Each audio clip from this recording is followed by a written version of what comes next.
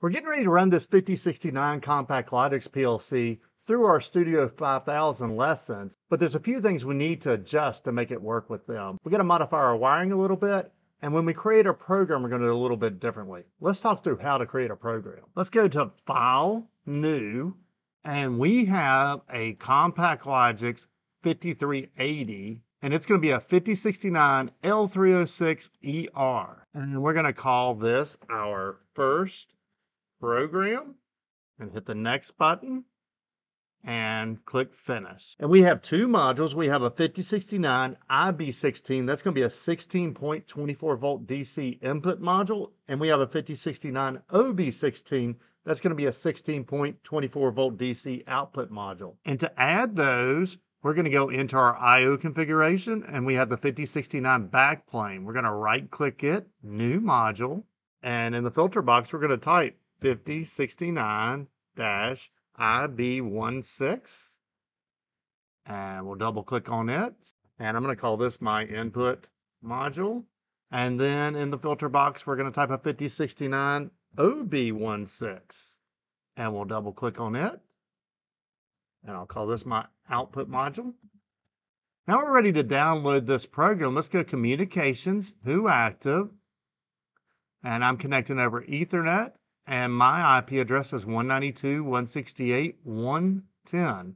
And notice we don't have a download button right here or go online. And that's because it has the default firmware. And I don't know why, but it's not showing up to let me update the firmware right here.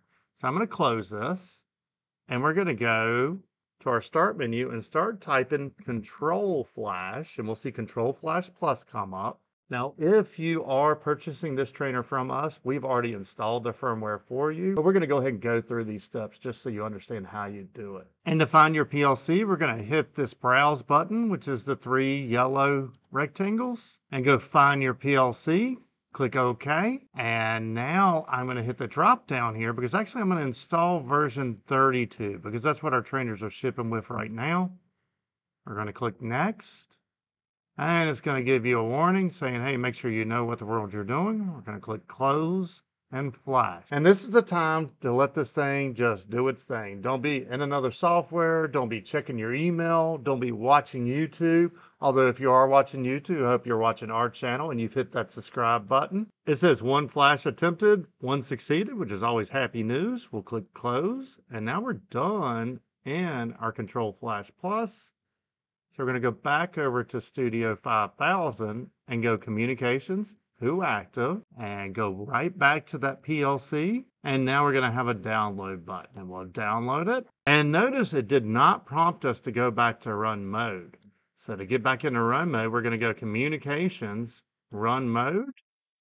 Change it to run. And now our Studio 5 lessons will work with the 5069 with one exception. We let's talk about our tag addressing because it's a little bit different.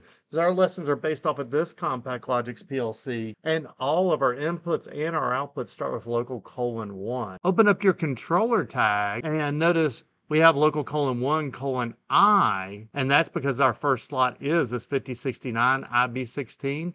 But for our outputs, they're going to be local colon 2 colon O. So that's the only difference when going through the rest of our lesson series. And I've created this playlist right here with some Studio 5000 videos to get you started.